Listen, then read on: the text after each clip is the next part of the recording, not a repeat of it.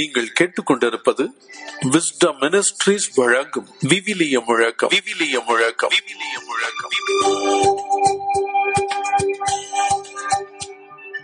பிப்ரவரி மாதம் பனிரெண்டாம் தேதி வெள்ளிக்கிழமை ஆண்டின் பொதுக்காலம் ஐந்தாம் வாரம்.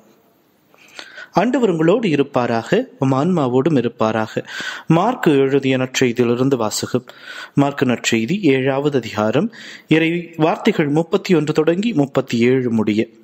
இயேசு தீர் பகுதியை விட்டு சீதோன் வழியாக சென்று தெக்கப்போலி பகுதியின் நடுவே வந்து கலிலேயா கடலை அடைந்தார். காது கேளாதவரும் திக்கி பேசுபவரமான ஒருவரை சிலர் அவரிடம் கொண்டு வந்து அவர் மீது கை வைத்து குணமாக்குமாறு அவரை வேண்டிக் கொண்டனர். இயேசு அவரை கூட்டத்திலிருந்து தனியே அழைத்துச் சென்று தம் விரலை அவர் காதுகளில் இட்டு உமிழ் நீரால் அவர் நாவை தொட்டார். பிறகு வானத்தை எண்ணார்ந்து பார்த்து பெருமூச்சு விட்டு அவரை நோக்கி எப்பேதா அதாவது திறக்கப்படு என்றார். உடனே அவருடைய காதுகள் திறக்கப்பட்டன. நாவும் கட்ட விழுந்தது. அவர் தெளிவாக பேசினார். இதை எவருக்கும் சொல்ல வேண்டாம் என்று அவருக்கு அவர் கட்டளையிட்டார். அவரது கட்டளைக்கு நேர்மாறாக இன்னும் மிகுதியாக அவர் அவர்கள் அவர்கள் அதை அறிவித்து வந்தார்கள். அவர்கள் அளவு கடந்த வியர்ப்பில் ஆழ்ந்தார்கள். இவர் எத்துணை நன்றாய் யாவற்றையும் செய்து வருகிறார். காது கேளாதோர் கேட்கவும் பேச்சற்றோர் பேசவும் செய்கிறாரே என்று பேசிக்கொண்டனர். இது ஆண்டவர் வழங்கும் அருள்வாக்கு. இறைவா உமக்கு நன்றி. கிறிஸ்தியேசுவில் எனக்கு மிகவும் பிரியமானவர்களே எரேமியா புத்தகம் முப்பத்தி மூன்றாவது அதிகாரம் மூன்றாவது இறைவசனத்துல நீ என்னை நோக்கி கூப்பிடு நான் உன் குரலுக்கு செவி கொடுப்பேன். நீ அறிந்திராத மாபெரும் செயல்களை நான் உனக்காக காட்டுவேன் என்று அன்று இஸ்ராயல் மக்களை நோக்கி இறைவன் சொல்லுவார். அதே வார்த்தைகள் தான் இன்றும் சொல்லப்பட்டிருக்கிறது. இன்னைக்கு இயேசு சொன்ன அற்புதம் கொஞ்சம் வித்தியாசமானதாக வித்தியாசமானதாக இருக்குது. ஏன்னா இதுவரை அவர்கள் பார்த்த அற்புதத்திலிருந்து இந்த அற்புதம் கொஞ்சம் வித்தியாசப்பட்டதாக இருக்கிறது.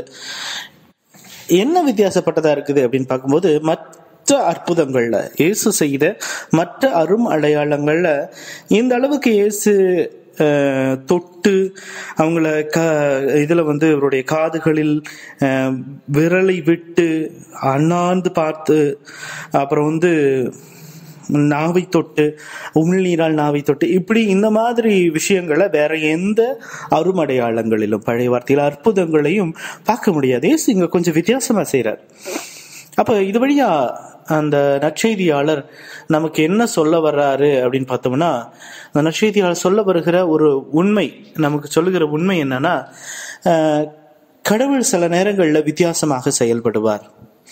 ஏன்னா நிறைய கோயில்களுக்கு போறவங்க குறிப்பாக இந்த புண்ணிய தலங்களுக்கு வேளாங்கண்ணி போல அல்லது வந்து புலிகுளம் போல அல்லது பூமனூர் போல இந்த பகுதிகளுக்கு போகிறவர்களுக்கு என்னன்னா போனால் போனா சொன்ன உடனே நடக்கணும். அதாவது போய் நான் இத்தனை வாரம் பதிமூணு வாரமா போறேன். கடவுள் நான் சொல்றபடி கேட்கிறேன் நான் அதாவது நான் கேட்டது எதுவும் நடக்கிறது இல்லை அப்படிங்கும்போது கடவுள் சில நேரங்களில் வித்தியாசமாக செயல்படுவார். நம்ம கேட்பது போல அல்ல கடவுளுக்கு என்று இயேசுவுக்கு என்று சில திட்டங்கள் இருக்கும். அவர் அவருடைய திட்டத்தின்படி அவருடைய எண்ணத்தின்படி நம்மை குணமாக்குவார். அவருடைய திட்டத்தின்படி அவருடைய எண்ணத்தின்படி நாம் இறைவனுடைய ஆசிர்வாதத்தை பெறுவோம் என்பதை தான் இன்றைய நற்செய்தி பகுதி நமக்கு ஞா- ஞாபகப்படுத்துகிறது. அதுவும் மார்க்கு நற்செய்தியாளருடைய புத்தகத்தை பார்க்கும்போது அஹ், மார்க்கு நற்செய்தியாளர் சில நேரங்களில் ரொம்ப மார்க்க நற்செய்தியாளருடைய அந்த புத்தகத்தை பார்க்கும்போது மார்க்க நற்செய்தியாளர் பல நேரங்களில் ரொம்ப சாதாரணமானதாக தன்னுடைய பதிவுகளை தன்னுடைய நற்செய்தியில அவர் இயேசுவை மிகச் சாதாரணமாக மனிதராக இயேசுவோ ஒரு சாதாரண மனிதனுக்குரிய அனைத்து இயல்பையும் உடையவராக காண்பிப்பார். அதனாலதான் மார்க்க தொட்டு குணமாக்குனாரு. ஒரு சாதாரணமான ஒரு மருத்துவரை போல இயேசுவை காட்டு காட்ட விரும்பாரு. Jesus is fully human and fully divine இயேசு முழு மனிதனும் முழு இறைவனும் என்பதை மார்க்க நற்செய்தியாளர் பல இடங்களில் எண்பிக்கவே விரும்புவார். அதை தான் இன்னைக்கு நற்செய்தியிலும் இயேசு செய்திருக்கிறார். எனவே நம்முடைய நம்ம நினைக்கிற மாதிரி கடவுள் செய்யணுமா? அதான் எஸ்ஐயா புத்தகம் ஐம்பத்தி ஐந்து எட்டுல மிக தெளிவாக சொல்வார் என் எண்ணங்கள் உன் எண்ணங்கள் அல்ல என் வழிமுறைகள் உன் வழிமுறைகள் அல்ல. விண்ணிலிருந்து மண்ணுலகு எவ்வளவு தொலைவில் இருக்கிறதோ அந்த அளவிற்கு உங்களுடைய எண்ணங்களை விட என் எண்ணங்கள் உயர்ந்தவையா இருக்கின்றன அப்படின்னு பேசுவார். எனவே கடவுள் நிச்சயமா செய்வார். நிறைய நேரங்கள்ல நாம நினைச்சது மாதிரி எல்லாம் நடக்கலையே நாம நினைச்சதெல்லாம் கடவுள் கொடுக்கலையேன்னு சொல்லிட்டு இருக்கிறோம். கடவுள் நிச்சயமாய் கொடுப்பார். அதுதான் இன்றைய நற்செய்தியில இயேசு நமக்கு சொல்லுகிற மிகப்பெரிய பாடம். எனவே இயேசுவை முழுமையாக நம்புவோம். கடவுள் இருக்கிறாரு.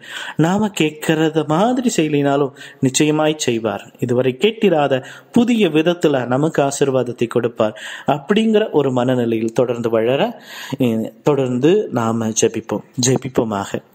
அன்பி உருவான் ஆண்டவரே உம்முடைய திட்டங்கள் எண்ணங்கள் வித்தியாசமானவை கடவுளே. நீர் எங்கள்கிட்ட பேச விரும்புவது நீர் எங்களிடம் செயலாற்ற விரும்புவது மிக மிக வித்தியாசமானது. எப்படி எசாயா இறைவாக்கினர் உம்மை புரிந்து வைத்திருந்தாரோ அதுபோல நாங்களும் உம்மை புரிந்து கொள்ள உமது ஆசிர்வாதத்தை புரிந்து கொள்ள. நீர் எங்களை தொடுகிறீர் எங்களை தொட்டு குணமாக்குகிறீர் என்பதை முழு மனதோடு ஏற்று அனுபவிக்க ஆசிர்வாதத்தை தர நாங்கள் ஜெபிக்கிறோம் தகப்பனே. உடைய ஆசிர்வாதம் எங்களோடும் எங்கள் குடும்பத்தோடும் குடும்பங்களோடும் இருக்கட்டும்.